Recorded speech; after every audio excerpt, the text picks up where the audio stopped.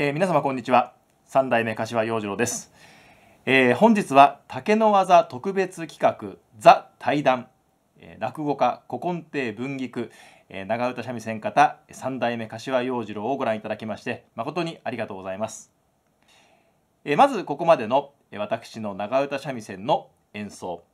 えー、そしてこの後、えー、古今亭文菊師匠文菊師匠の、えー、落語を一席えお楽しみいただきまして、え少し休憩をいただきまして、え対談をたっぷりと、えお楽しみいただくという内容でございます。え今日私が演奏しました曲目は「え吉原すずめ」という長唄の曲の、まあえ、抜粋でございます。あの聞くところによりますと、え、落語というものは、え、江戸の庶民の、えー、江戸庶民の暮らしや、えー、風俗、えー、こういったものを題材に取り入れているものが、えー、大変多いと、えー、伺っております。まあ、今日は、えーまあ、長唄の場合はねもう少し、えー、幅広くいろんな題材を取り扱うんですけれども、まあ、あの今日は、えー、落語家の文菊師匠と、えー、コラボレーションさせていただくということで、えー、まあその江戸にゆかりのあるそしてその江戸の中でも象徴的な、え吉原を、えー、扱った曲を演奏させていただきました。まあ、いわば今私の演奏で、え皆様をちょっと江戸時代の入り口まで お連れできたのかなというふうに思っております。えー、まあ今日この後、えー、文劇賞が、えー、どんなお話をするか僕はまだわからないんですけれども、えー、まあきっと、えーまあ、今僕がお連れした入り口から、えー、さらにさらに、えー、江戸の深みへと、えー、師匠が、えー、引きずり込んでくれることと思いますので、えー、どうぞこの後の文菊師匠の落語をたっぷりとお楽しみいただければと思います。えー、私からは、えー、ここまでですが、えー、実はちょっとこの後もう一仕事ございますので、えー、少し場所を変えて、えー、少し画面から、えー、離れたいと思いますので、えー、よろしくお願いいたします。えー、ここまで三代目柏洋次郎でした。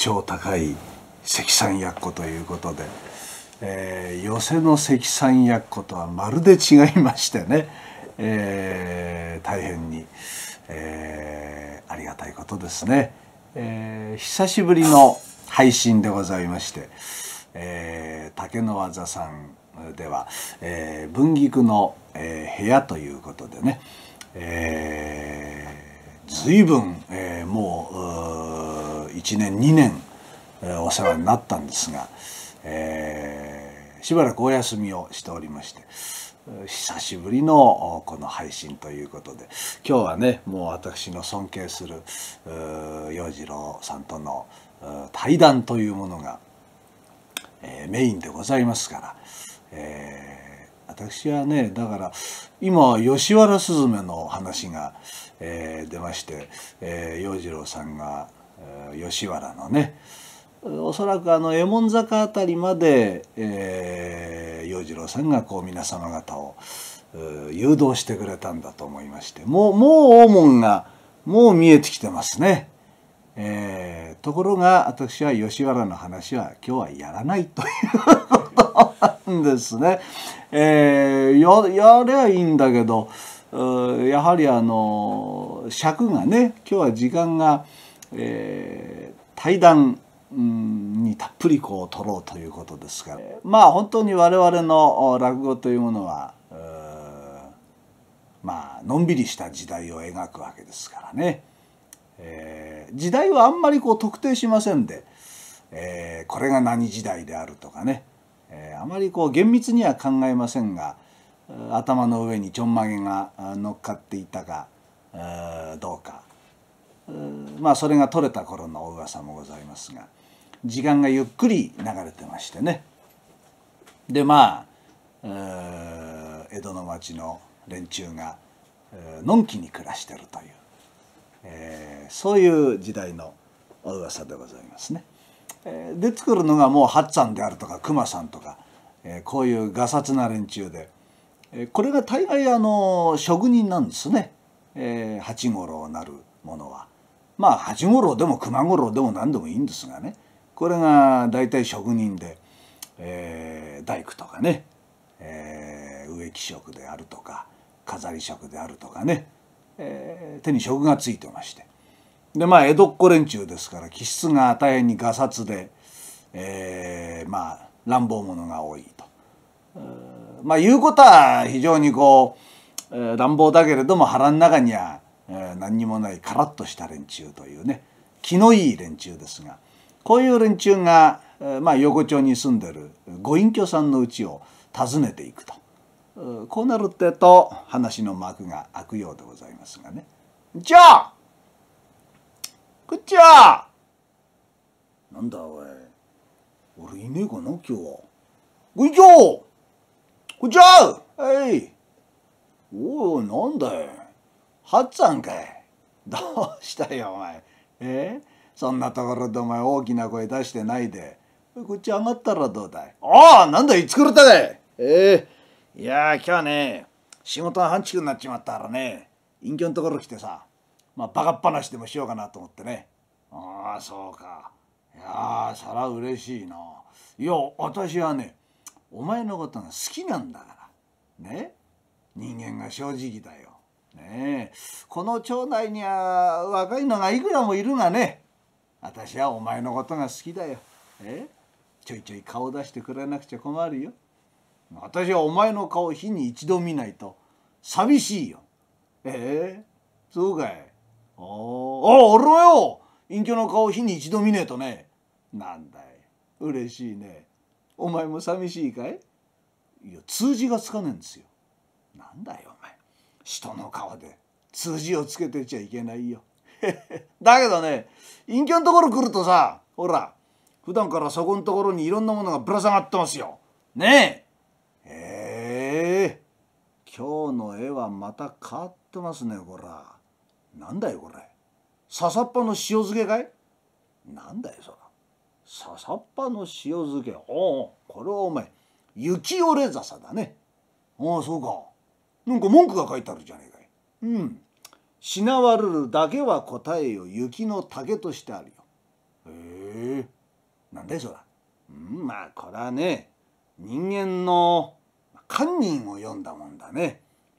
竹ってのはこの雪が降るってと重みでぐーっとこうしなるだろところがいつまでもしなってないよお日様が照ってね雪が溶けるとこれがまたピーンとこう伸びるだろう人間もそうだね辛いことがあってねいつまでもこううつむいていちゃいけないとまた前を向いて歩いていこうとそういうことがここに書いてあるな。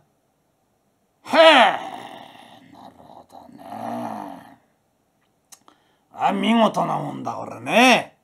ああ手したもんだねこれね。えーえー結構なもんだこれね。うん。とやなんだよお前。影物を見て音羽屋ってやつあるかよ。こういうものを見たらねいい三でございますねとこう言わなくちゃ。うん一つきゃねえのに三回。いや三じゃない。いい三でございますねとこう言うん。へえそう言ってると俺は儲かるかい。まあ儲かることはないがね世間がお前のことを重んずるようになる。えー皆様大変長らくお待たせいたしお待たせいたしました、えーここからがまあ今日のいわばメインイベントということで あの我々我々の対談になっていくんですけれども、えーちょっとあの冒頭にまああの対談といってもねええ。あの今日実はな内容はねほとんど決めてないんですけれど全くねええ。決め。あの決め事をね2つだけあの決めておりまして、ええ。あの基本的には私が、えー聞き手に回るということと。えでもう一つがまあ一応ね、うん。あのもう取り留めなく話しちゃうと、うん話があっちゃらこっちゃらになっちゃうんで、一応そのまあ私と文菊師匠そして竹縄さんとの、えーまあ、出会いのあたりからなるほど。まあ、時系列だけはこうちょっと、はあはああの追いながら話していくと面白いかなとないるほど。うところで、ええということはやっぱり竹野さんに参加していただかないとね、ちょこちょこと入っていただければと。やっぱりよろしくお願いしまあ声す。やっぱり声だ聞こけ、ね、えてますね。ええはいはいなんかあの声に評判がいい なんかね、そうなんですよ。かねあのこの声にファンがついてるというね、やめてください。かもう嫉妬しちゃうね。で、あの基本的に姿をね出さないんで、ね、出さないんですよ。もうその皆様の想像がね広がりますから。我々なんかこんだけさらけ出してね。そうですね。ね？はい、よろしくお願いします。はい。どうもどうも。お願いします。えーとまあえー。一応まず一番最初にまあ今回のイベントのまあちょっと立案経緯というのだけお話ししたいんですけど、まああの、えー竹野和さんを通じて、うん。あの文菊師匠と僕あの出会出会うことになりましてですよね。うんでまあそこからずっとあの僕も尊敬をしておりまして、ね。うん、まあ何かあのこの竹の技内でこうまあ共演うん。できる機会があればいいなというふうにずっと考えていたんですけれどもあの今年がなんかあの入門20周年を迎えられるねえだからそういうことあんまりほとんど意識しないんですけどね、それも一つういい節目だかもしれませんね。とでね師匠のまあ20周年を迎えたということと、えあとこの、えー、竹さんこの配信が始まってちょうど2年ぐらいになるんですかねえああそうか。もう少しですね。2年ちょっともう少しで2年。5もう少しで二年月かな。はいあじゃあうん文菊の部屋は一年半ぐらいやったわけでしたっけ？文菊の部屋40回だから、うん2で割ると20ヶ月。二十ヶ月だから、ね。ああそうですね、うんで1年8ヶ月ぐらい、うんまあ、結構なさいましたねね。あもう二年になりますか。そうですね。ねだからまあなんかそんなこととまあねあの我々このコロナが始まって、うんまあまあ広い意味であの同じ伝統芸能の業界ということで、うんまあ結構苦しい思いををしたということもあるんで、ねまあその辺の振り返りも含めて、あえーまあちょっといい機会かなという長ことで。くなりますよこれ。今日ねこれもうね。まあでもある意味対談があメインですから。そうっ対談がはいね。えーでもどじゃあ出会いっていうとだからずいぶん前ですよね。そうだから結構多分ねあの竹の技ずいぶんね、あのファンの方も多いと思いますし、うんあのあそれからあれか竹の技っていう YouTube の登録者数が2000人をね超えたみたいなんですよ。へえ。おめでありがとうございま。す。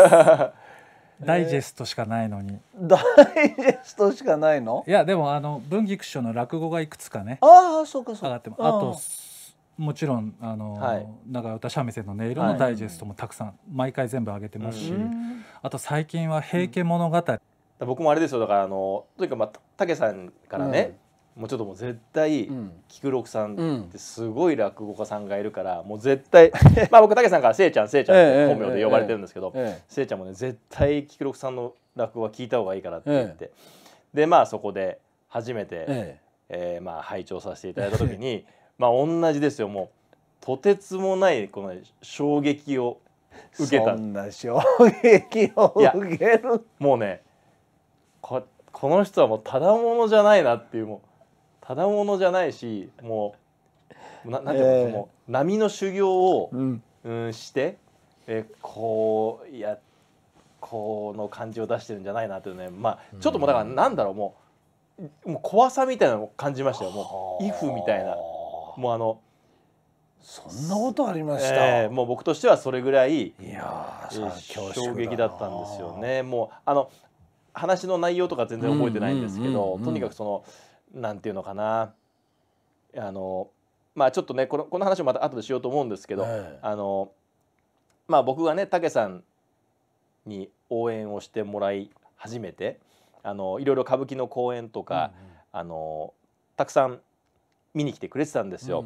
で当時ありがたいことでねあの我々八丁八枚とか言って、うんうん。あの三味線三味線方が8人、うん。で歌が8人並ぶ、まあ勘三郎さんのね「蓮師」とか、あの本当にあの時出たての頃ですから、まあ、234歳の頃なのかな、一番端っこで座ってる頃からその竹野輪さん界隈の皆さんに応援していただいて。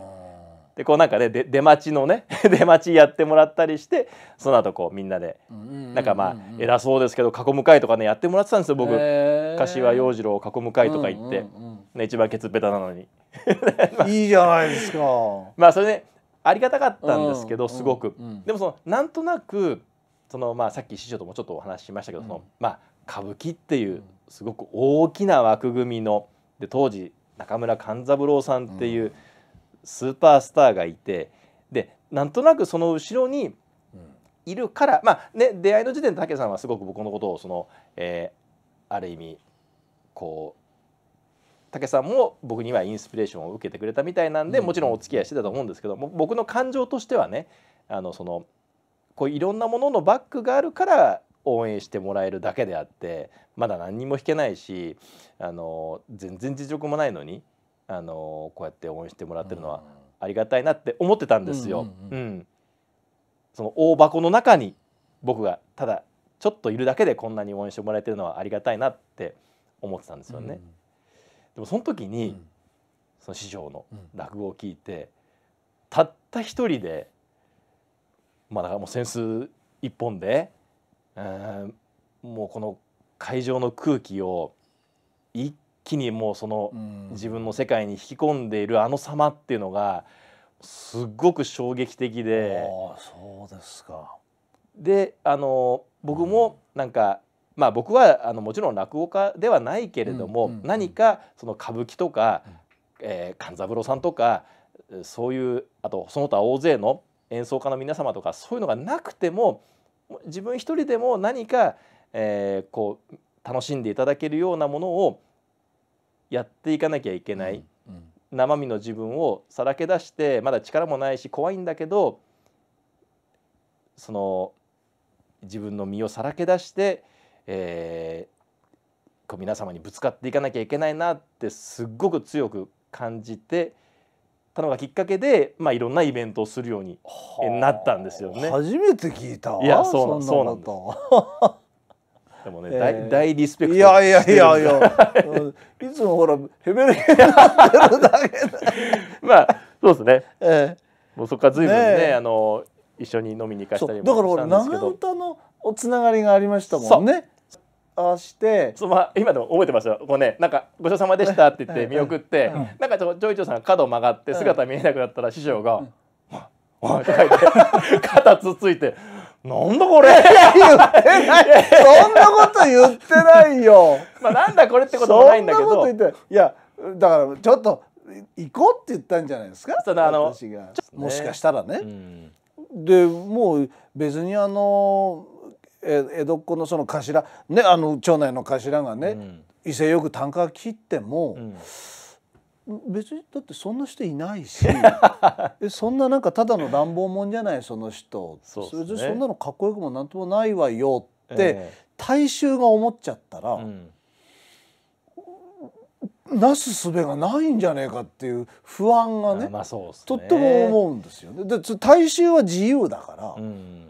別に思わなくてもいいわけじゃないですか。もちろんもちそれろんは恵みのそれは素晴らしい役者が出てきて、えこれはもう頭このこんなんだ頭は、ん。頭の切符はこれだっつって見せて、ああ素晴らしいってなりゃそれで一つ、はい。すもしかしたらつなぎ止められるかもしれないけど、もし仮にええ。そういう方が出てこなくて、はい。なんか「何言ってんだべらぼうめ」みたいな人が出て 出てきて。えええうんこだから何なの？この頭ってのは。えまあまあそうそういうこなってっとですよねたらね。う今はそうなってるとは思いませんよ、うん。今は思ってませんけどそうなっちゃったらどうなっちゃうのかなっていうね、うん。そういうことをね悩み 悩みますっていうか考えますわね。そうね、えまあでもなんかそうですね。僕もだからその辺の迷いとかってあるんですけど、もうなんかどうせみんな隅田川って言ったって、今スカイツリーとかあんな感じだし分かんないよね。だからもうこんな感じでいいよねっていう、うん。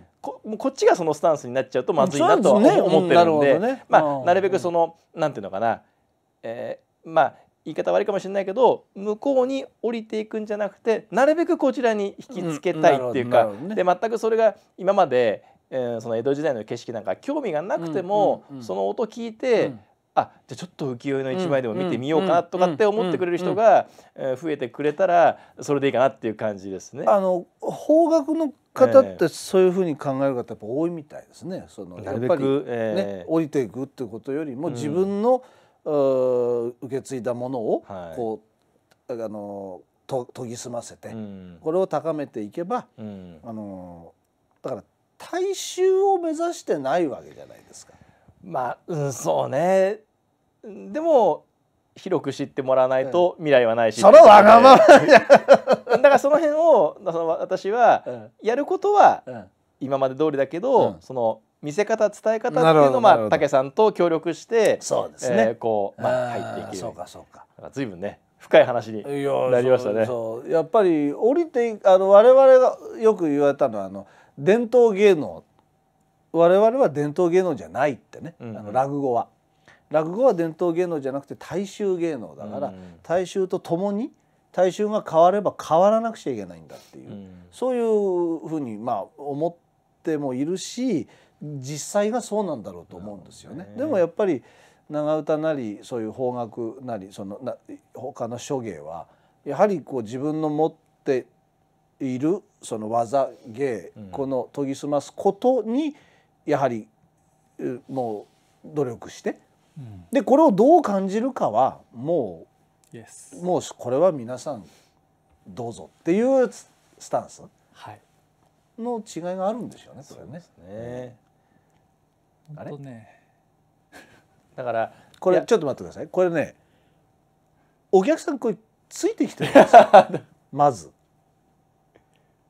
わかりません。これもしかしたら我々が勝手にここで喋ってて全然誰もついてきてないっていうパターンにいやいや大なってませんか聞いてくださってる方チャットで聞いてますと、教えてくださいこれは怖いですよこれちゃんとなんか質問のとかなんとかっていうのねあそろそろそうですねえっと私の方はまあ引き続き、はいえー来月もからも、まあ、長唄三味線の音色うんおよび、まあ、歌舞伎をもっと見たくなる長唄三味線の世界という、まあ、この2本の番組を継続して配信していく予定で、えーございます。で、えー、とまだ発表してませんけど4月の4日に、えーまた配信演奏会やりますので詳細はまたえーいろいろといろんなところで発信していきますけど4月の4日また今度は8時からやりたいと思いますけど、えーぜひご予定いただければと思います。師匠の方ははいまた何か、文菊師匠もねあにのいわゆるこう今までのペースではなくて、はい、あの年間うー何回かあなるほど。あの文菊の部屋をね。あそうですか。ええ、はいはいはい。あの今まではだって毎月2回二回ねずつやってたわけなさってましたもんね。それはもう一旦あのおええ休みになって、だから年間どれぐらいのペースかねちょっと分かりませんけど。季、節ごとにやりたいなと思ったんです、4月の話はいいですか？あだいいんじゃないではい。すか、、え。えー今予定しておりますのはうん。4月の25日、うん。月曜日文菊の部屋2022春でうん。復活北の活というか国から。だ よえこれ今41回とかじゃなくてですか？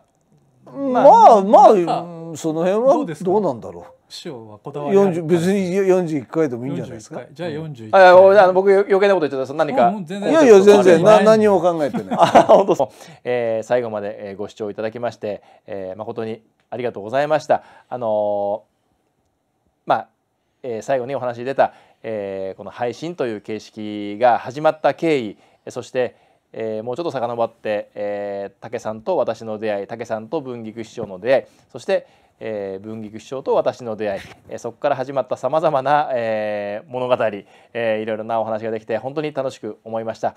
あの私にとりましても、えーこの数年間を振り返るいい機会になりましてまたそれを皆様と共有できたことも、えー本当に嬉しく思っております。えーまた今後とも竹の技、えーそして、えー私柏洋次郎の、えー配信そして文菊師匠のさまざまな活動に目を向けていただいて、えーご声援いただければと思います、えー今日はひとまずここまでありがとうございました。